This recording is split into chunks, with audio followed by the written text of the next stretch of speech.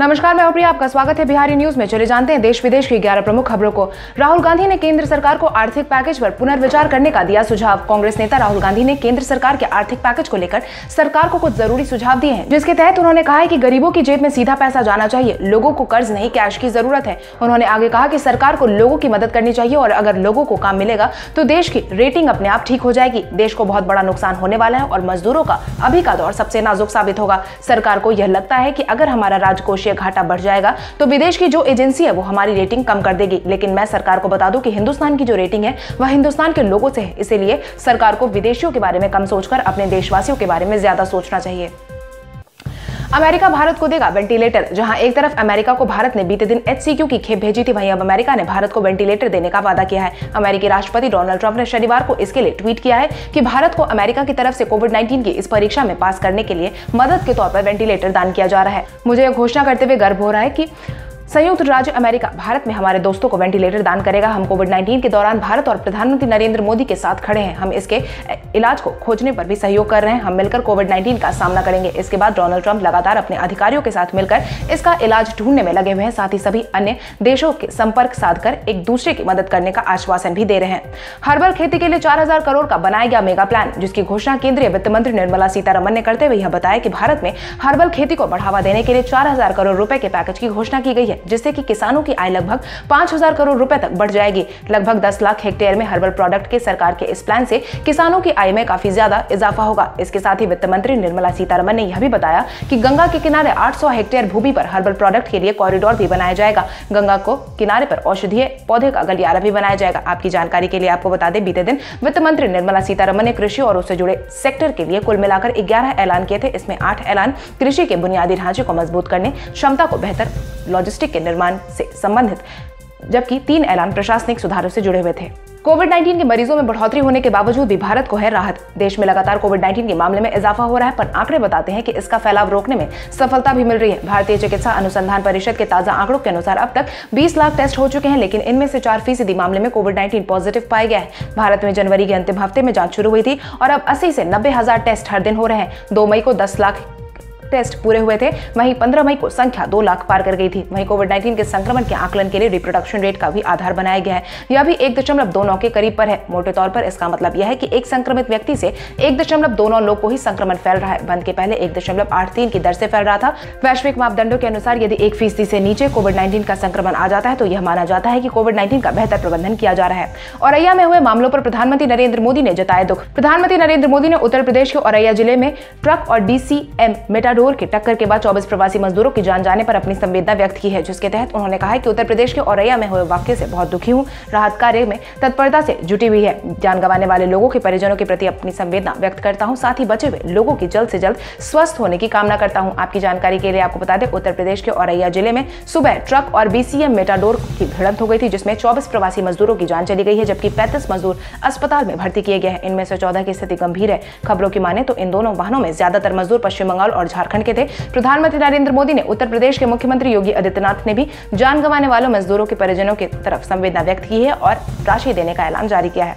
Covid 19 की वजह से जोमेटो के 520 कर्मचारियों की नौकरी जा सकती है। कोविड 19 के बढ़ते असर के कारण व्यापार को काफ़ी ज़्यादा परेशानियों का सामना करना पड़ सकता है। इसकी क्रम में फ़ूड डिलीवरी प्लेटफॉर्म जोमेटो ने भी अपने 520 कर्मचारियों और 13 प्रतिशत कर्मचारियों के छटनी करने का और अस्थायी रूप से बाकी की सैलरी में कटौती करने का फैसला कर सकती है। एक मीडिया रिपोर्ट के माने तो कंपनी के संस्थापक ने बीते दिन यह बात कही है, क्योंकि कोविड 19 की वजह से राष्ट्रव्यापी बंद के कारण बिज़नेस में काफ़ी ज़्यादा नुकसान हुआ है। और इसी को ध्यान में रखते हुए जोमेटो ने यह कहा है कि जिन भी कर्मचारी की नौकरी से निकाला जाएगा, उन्हें आने वाले छह महीने तक आधी तनख्वाह भी दी जाएगी। सिर्फ़ आने वाले छह महीने ही नहीं, अगर उन लोगों के छह महीने के बाद भी कोई नौकरी नहीं मिलेगी, तब तक कर्मचारियों को सैलरी दिया जाएगा और स्वास्थ्य बीमा भी कराया जाएगा। हालाँकि इस दौरान एम्प्लॉय ओनरशिप स्टॉक भी जारी रहेगा। किसानों की मदद के लिए केंद्र सरकार ने किए ग्यारह बड़े ऐलान। वित्त मंत्री निर्मला सीतारमन प्रधानमंत्री नरेंद्र मोदी द्वारा किए गए ऐलान के बाद बीते कई दिनों से सभी क्षेत्रों को राहत देने की कोशिश कर रही है। इसी क्रम में बीते दिन किए गए ऐलान में किसानों के हित के लिए ग्यारह अहम ऐलान जारी किए गए हैं, जिसके तहत एक लाख करोड़ रुपए का फंड बनाने का ऐलान जारी किया गया है, जिससे performer producer organisation cooperative aggregator को यह फंड इंटरेस्ट रेट सुधारने के लिए दिया जाएगा। इससे किसान आसानी से भंडारण का काम कर सकेंगे। छोटे आकार के फ़ूड इंटरप्राइजेस के लिए दस हज़ार करोड़ रुपए फंड की व्यवस्था, जिसमें organic product herbal product nutrition product के लिए बीस लाख छोटे आकार के फ़ूड इंटरप्राइजेस का इसका फ़ायदा होगा। मत्स्य संपदा योजना के तहत पचपन लाख लोगों को रोज़गार देने का ऐलान भी जारी किया गया है। भारत में चीन से ज़्यादा हुए संक्रमितों की संख्या कोविड नाइन्टीन भले ही चीन के वुहान शहर से निकला हो, लेकिन कोविड नाइन्टीन के रोकथाम में चीन में बखूबी अपनी भूमिका निभाई है। वहीं चीन के अलावा बाकी सभी देशों में कोविड नाइन्टीन से ज़्यादा परेशानी झेली है। भारत में भी बिल्कुल ऐसा ही हुआ है। भारत में प्रभावितों की संख्या ने चीन को भी पीछे छोड़ दिया है। स्वास्थ्य मंत्रालय द्वारा जारी किए गए आंकड़ों के अनुसार भारत में संक्रमितों की संख्या पचासी हज़ार को पार कर चुकी है। अब तक छब्बीस से ज़्यादा लोगों की जान जा चुकी है, जबकि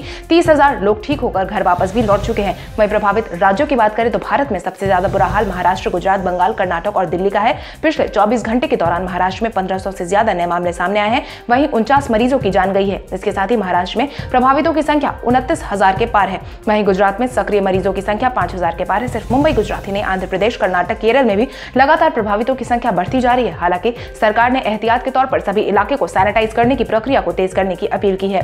भारत में जल्दी विमान सेवा की हो सकती है शुरुआत। भारत में अब ट्रेनों के बाद विमान सेवा की शुरुआत हो सकती है। खबरों की माने तो सरकार सत्रह मई के बाद एयरपोर्ट खोलने की घोषणा कर सकती है। एयरपोर्ट अथॉरिटी ऑफ़ इंडिया ने इसकी जानकारी देते हुए यह बताया है कि घरेलू उड़ानों को फिर से शुरू किया जा सकता है। अगर ऐसा होता है तो एयरपोर्ट की तरफ़ से ज़रूरी गाइडलाइन जारी की जाएगी, जिसका पालन करना यात्रियों के लिए अनिवार्य होगा। वहीं नागरिक उड्डयन सुरक्षा ब्यूरो ने बीते दिन कहा कि यात्री विमानन ने अपने साथ साढ़े तीन सौ मिलीलीटर हैंड सैनिटाइजर ले जाने की भी अनुमति दे दी है। हालाँकि सरकारी प्राधिकरण के ट्वीट के बाद घरेलू उड़ानों की जल्द संचालित करने की संभावना को देखते हुए एएआई ने अपने तैयारियों की शुरुआत कर दी है, जिसके तहत यात्रियों के कुछ नियमों को लागू किया गया है, जिसके तहत फ़ोन पर आरोग्य सेतु ऐप रखना अनिवार्य होगा, मास्क और हाथ में दस्ताने पहनना अनिवार्य होगा। चार फीट की दूरी बनाकर रखनी होगी। एयरपोर्ट स्टाफ के साथ कोऑपरेट करना ज़रूरी होगा।